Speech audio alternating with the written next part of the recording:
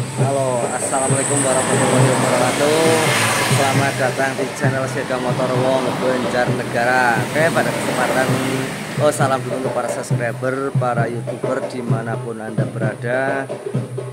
Pada hari ini kita akan mengerjakan Honda Supra. Nah, Kebetulan di sini yang punya kepengen Honda Supra tersebut Lebih bertenaga. Soalnya untuk jualan sayur kan bawa banyak lumayan berat. Oke nanti kita cara pengerjaannya seperti apa bagian mana yang kita akan rombak atau modifikasi supaya tenaga motor tersebut bisa lebih bertenaga ininya nggak kayak seperti yang ada sekarang. Oke tonton videonya jangan sampai di skip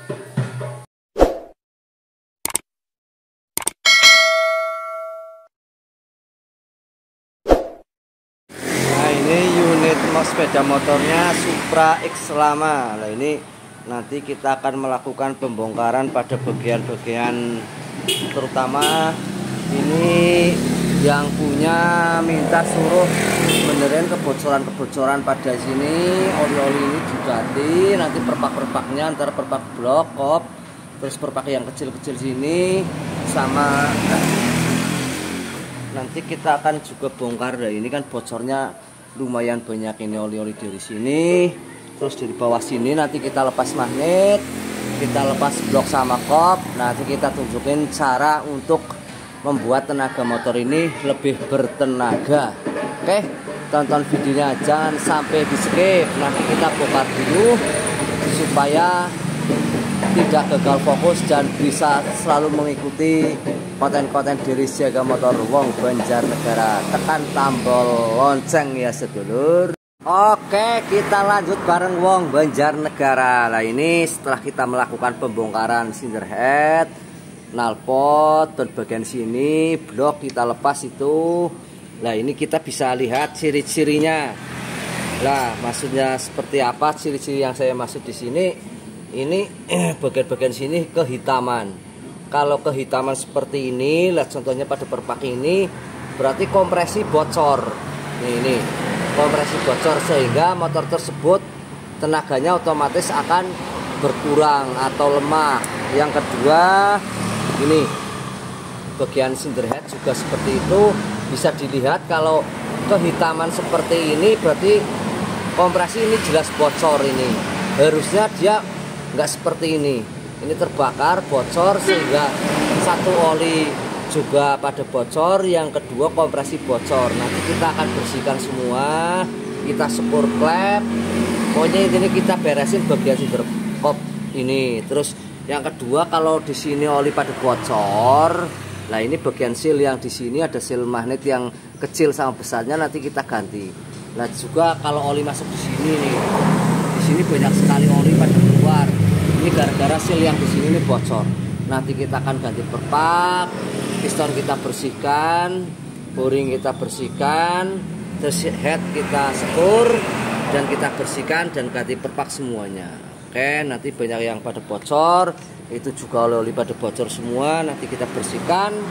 Nanti kita lanjut lagi setelah proses pembersihan sehingga kalau di sini kalau kita membersihkan supaya kita bisa mengetahui bagian-bagian mana yang harus kita benerin.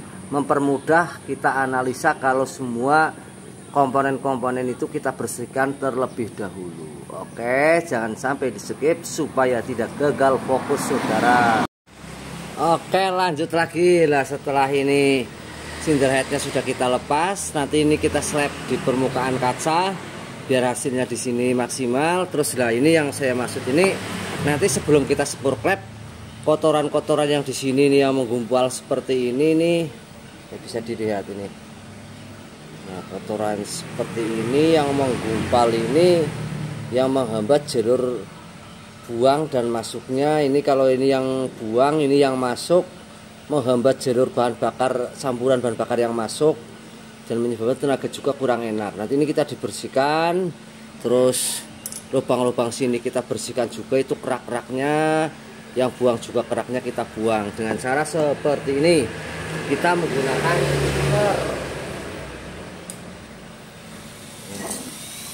kita menggunakan suner. Nah ini yang penting bagian yang dapat setting klep ini jangan sampai kena. Ini harus hati-hati. Ini kan keraknya tebal sekali ini. Ini keraknya tebal sekali. Ini harus dibersihkan supaya nanti aliran bahan bakar yang masuk itu akan semakin lancar. Kalau ini yang buang berarti buangnya semakin lancar tidak terhambat. Otomatis kalau buangnya lancar tenaga motor juga lebih enak dan lebih maksimal. Ini dibersihkan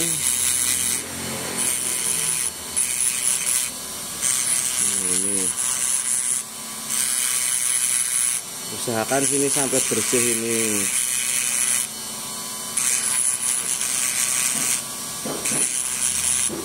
Ini nah bagian atasnya juga ini kita bersihkan ini.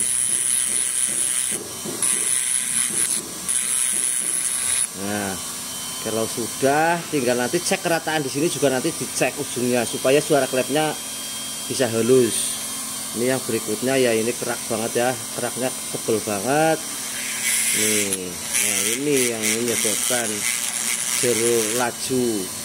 Bahan bakarnya susah masuk kalau seperti ini.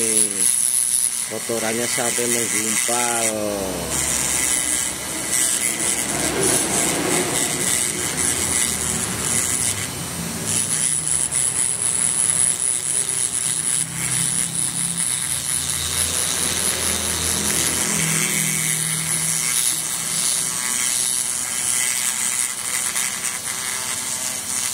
untuk membersihkan ini pelan-pelan saja supaya yang dapat setting klep itu enggak sampai kena. Enggak perlu buru-buru. Yang penting hasilnya bisa maksimal. Ini bagian sini. Juga bagian sini juga ini kalau kita pakai amplas itu susah buangnya. Tapi kalau kita pakai jumper seperti ini cepat. Ya ini kan nanti tinggal diperhalus sama amplas saja. Terus yang bagian buang-buangnya ini juga ya ini. Nah nanti bisa dilihat tuh keraknya udah keluar semua itu. Oh tuh keluar. Kerak-keraknya banyak banget itu nah kan kotorannya keluar semua. Ini kalau pengen bisa dibersihkan sampai bersih insya Allah motor juga lebih enak tarikannya tidak terhambat ya oke? Ini bagian sini juga kita bersihkan sini bersihkan sampai betul-betul bersih. Nanti baru dilakukan penyekrapan bagian kerataan head sini sama klep. Oke nanti kita lanjut lagi setelah ini kita bersihkan sampai bersih. Lubang sini kita bersihkan sini bersihkan keraknya. Terus nanti kita slap kita tinggal lanjut nanti sepur klep. Oke begitu untuk langkah berikutnya. Oke kita lanjut lagi saudara. Ini kebetulan kita sedang melakukan proses sekir klep lah ini. Nah kalau sekir klep kita menggunakan cara manual. Itu menggunakan ini bekas obeng terus kita kasih selang terus kita pasang ke klep. Nah terus hasilnya nanti usahakan seperti ini. Nah ini kita lihat. Maaf ya kita bukan menggurui kita berbagi ilmu ininya lah ya. Berbagi pengalaman saja bukan ilmu. Ini kita masuknya. Lah di tepi-tepi lingkaran sini ini harus mengkilap betul-betul ini mana ya? Nah, ini kita pindah sini dulu. Ini harus mengkilap. Ini ini harus klep bagian sininya ini harus mengkilap. Nggak kelihatan ya saudara. Nah ini. Bagian di sini nih harus mengkilap. Kalau mengkilap berarti tandanya penyekuran sudah Betul, tapi kalau masih ada bintik-bintiknya, lubang-lubang gara-gara istilahnya pembak habis pembakaran itu sebaiknya diulangin lagi sampai di sini benar-benar mengkilap ya. Jadinya kita nggak dua kali kerja. Seperti itu saudara. Nanti kita tinggal menyelesaikan yang ini nanti kita sekur ini yang untuk yang apa ya buang sudah ini tinggal yang yang in kita sekur dulu sampai selesai. Nanti setelah selesai ya jangan lupa ujung bagian sini ini nanti diratakan ini. Ini. Diratakan takutnya nggak rata nanti penyetelan klep juga berpengaruh sehingga suaranya kasar. Tapi kalau kita ini betulin rata bener-bener rata pada kaca kita taruh kaca misal ini kaca ditaruh amplas terus kita gesek-gesek seperti ini. Sampai benar-benar didapatkan hasil yang rata supaya nanti setelan klepnya bisa maksimal. Oke nanti kita lanjut lagi setelah penyekuran selesai ya. Dan nanti kita cek kebocoran klepnya seperti apa. Oke. Oke kita lanjut. Kita selesai melakukan penyekuran. Nah ini seal klep bagian sini kita ganti sekalian ini Nah cara memasang seal klepnya mudah saja. Ini kita lepas dulu klepnya Terus kita pasang seal klepnya pakai yang orisinilan ini. Seal klepnya kita ganti dua. Kita ambil ini sirkuitnya. Nah ini bagian sini kalau untuk mempermudah dikasih oli untuk pemasangannya nah seperti ini. Ini juga masuk sini ini kita kasih oli biar masuknya mudah. Tinggal kita tekan saja seperti ini. Nah ini contohnya. Tinggal dimasukkan itu udah masuk. Tinggal ditekan saja. Nah ini kalau posisi sudah seperti itu terpasang. Berarti sirkuit sudah siap. Ini juga caranya seperti ini. Dimasukin saja ini kelihatan ya. Tuh tinggal ditekan saja. Nah ditekan terus digeser-geser supaya mapan. Oke kalau sudah seperti ini sudah siap. Tinggal kita memasang klep. Jangan lupa dibersihkan semua bagian-bagian yang dapat klepnya. Klepnya dibersihkan setting klepnya juga dibersihkan supaya nanti nggak ada kotoran yang mengganggu atau mengganjal sehingga menyebabkan bocor. Nah kalau sudah seperti ini kita pasang yang X. Nah udah yang in. Udah sip nah ini udah terpasang seperti ini. Tinggal kita menggunakan tutup ini. Lap taruh di bawah. Nah seperti ini ini udah terpasang. Tinggal kita tekan.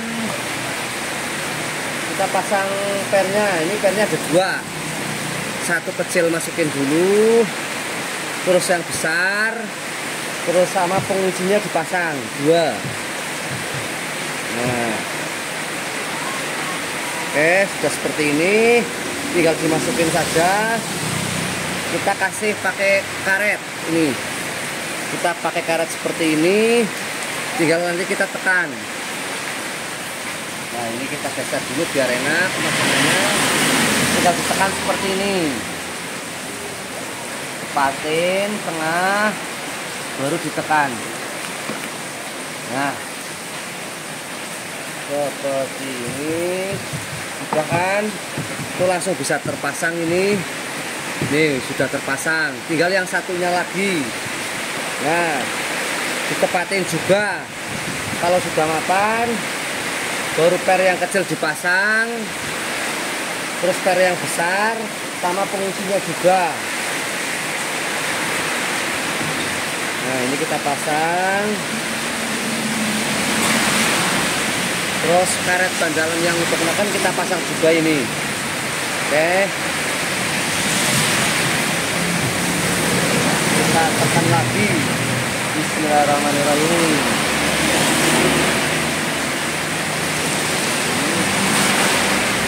Belum.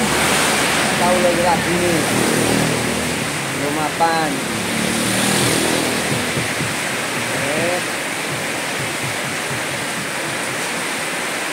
Maaf ya kalau suara kita enggak kurang jelas soalnya hujan nah ini sudah terpasang.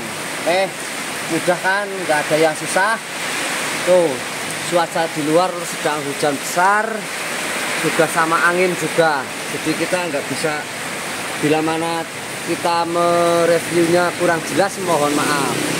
Oke tuh anak wadon lagi main itu. Juga ah, hujan sama angin besar banget itu. Di tempat kita seperti ini nanti kita tinggal akan melakukan pengecekan klepnya bocor apa enggak. Oke nanti kita akan dulu sebentar. Oke setelah kita pasang tinggal kita akan melakukan pengecekan pengecekan kebocoran. Dan kita pakai bensin kita tuangkan di sini. Diisi sampai penuh. Nah kalau sudah penuh coba dilihat. Kalau di sini ada rembesan bensin berarti tandanya klep belum betul. Tapi kalau nggak ada rembesan bensin ini bisa dilihat aman. Nggak ada rembesan berarti skor klep sudah oke. Okay. nah begitu. Terus yang satunya lagi kita cek juga. Kita dulu ya. Kita cek juga yang satunya lagi yang berarti yang in kita cek juga yang in. Kita lapis dulu sini terus kita cek kita kasih bensin. Nah ini udah terisi kita lihat di sini ada rembesan bensin apa enggak sekeliling sini klep. Kalau enggak ada berarti sudah betul. Tapi kalau ada berarti penyekuran klep belum betul. Oke kebetulan ini sudah aman.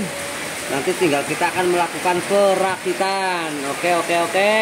Sip saudara.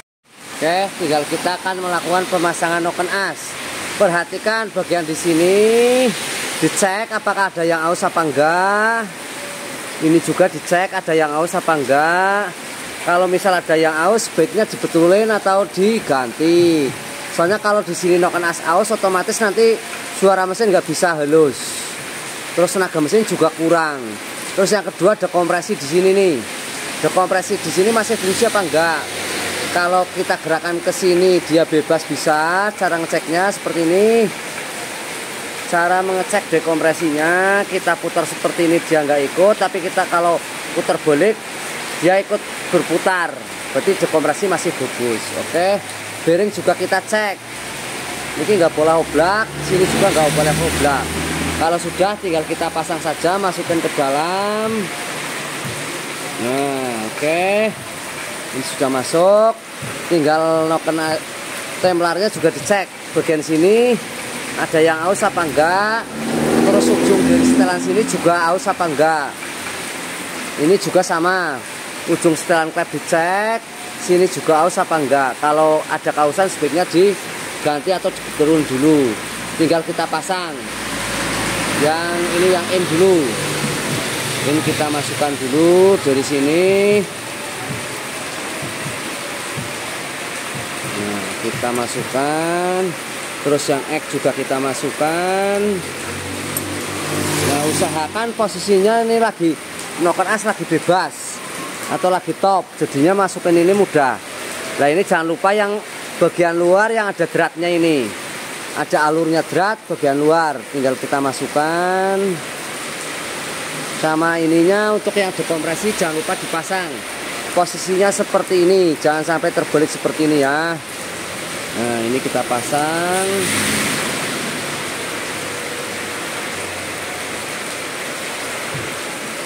nah dulu ini belum masuk ini terganjal ini saudara. Nah ya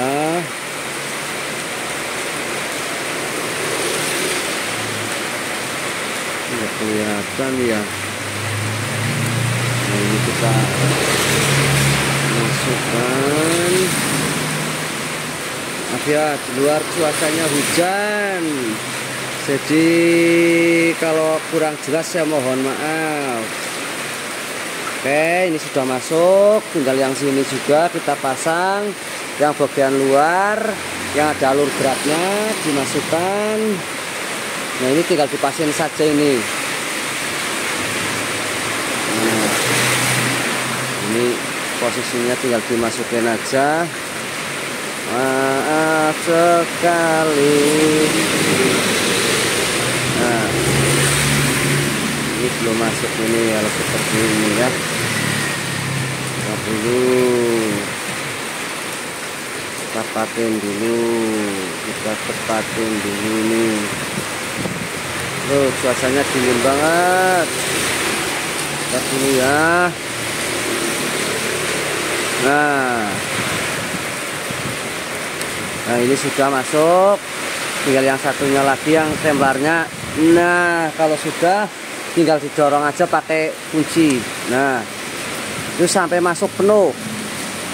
Kalau sudah masuk penuh pastikan ini posisinya lagi bebas. Templar sini. Oke kebetulan hujannya sama angin jadi kita susah mereviewnya ini kalau sudah disetel aman baru nanti kita merakit ke unitnya bagian sana. Oke nanti tinggal kita rakit kita bersihkan semua beres tinggal dirakit. Oke itu hujannya sama angin jadi kita rada susah. Oke kita lanjut. Lah bagian sini magnet sudah kita lepas. Nah ini yang saya maksud tadi itu yang bocor bagian ini. Ini di dalam sini ada seal ini. Seal ini satu nanti diganti. Terus satunya lagi di mana ini. Seal ini nanti juga diganti ini. Soalnya ini bocornya olinya ke sini ini, ini. Nah ini bocor. Nanti ini dibersihkan juga sama seal ini seal proselang juga nanti kita ganti kita bersihkan semua. Kita ganti lah untuk melepas bagian sini ini bot yang dua ini dilepas. Nah setelah dilepas tinggal disongkel aja keluar. Nah.